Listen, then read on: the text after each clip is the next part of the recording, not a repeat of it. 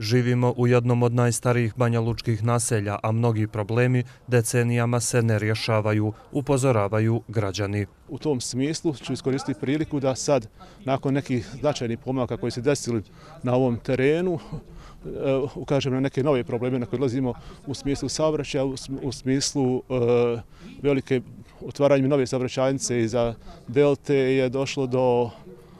eh, da tako kažem, staze za trku, gdje se vozi veoma velikom brzinom se vozi tako da su naša djeca koja pohađaju školu koja je dosta udaljena od našeg naselja,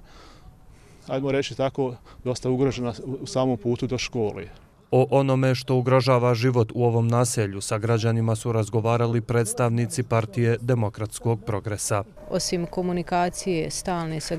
građanima putem medija iz kancelarije, iz kabineta, da kažem tog, tog kabinetskog dijela, mi zaista nastojimo da da u direktnom kontaktu sa građanima čujemo šta oni misle o našim planovima, programima, o našoj viziji Banja Luke, da čujemo gdje mi to možda griješimo i da u skladu s tim naš program korigujemo. Većina problema u ovom naselju, kažu u PDP-u, nastaje upravo zbog toga što se nadležni više vode interesima pojedinaca nego opštim interesom građana. Jer danas imate jedan sistem u kojem se ulica asfaltira, ne po tome da li je to potrebno većini građana, nego čija se kuća tamo nalazi ili što najgore čija vikendica.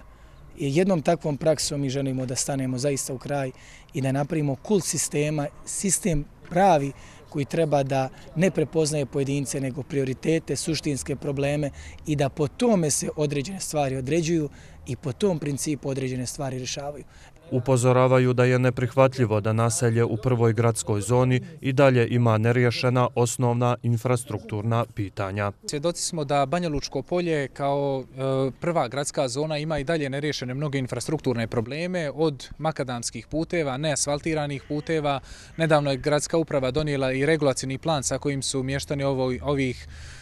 dijelova Banja Luke potpuno nezadovoljni, gdje su sve kuće pretvorene u zgrade sa pet i više spratova, gdje se i dalje Banja Luka vrši jedna nehumana betonizacija Banja Luke bez parkova, bez zelenila, bez tih životno važnih sadržaja. Dosadašnji pristup smatra Begić da se gradi na način da novi objekti ugrožavaju dostojanstven život građana mora biti zaustavljen.